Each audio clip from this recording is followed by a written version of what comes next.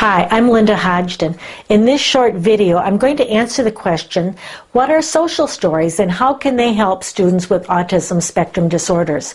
Social stories were developed by an autism consultant named Carol Gray to help some of the students that she was working with who had autism. Social stories are short stories written to give accurate social information to help students better understand social situations.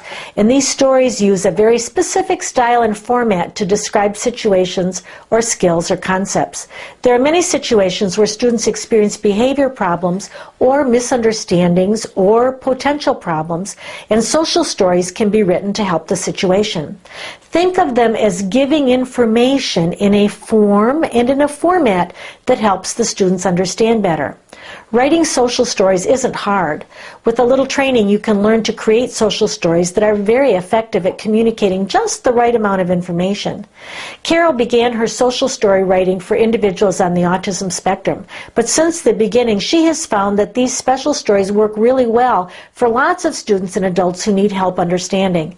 What's important to understand is that one of the reasons that social stories are so effective is that they're visual. They put information in a visual form to help students better understand the information and concepts that are difficult for them to understand.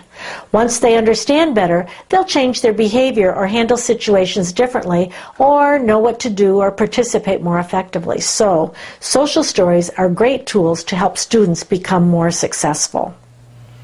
If you enjoyed the information in this video and would like to receive 20 free videos of the top questions that people ask about autism, then please enter your name and email address in the box below or visit the web address shown on this video.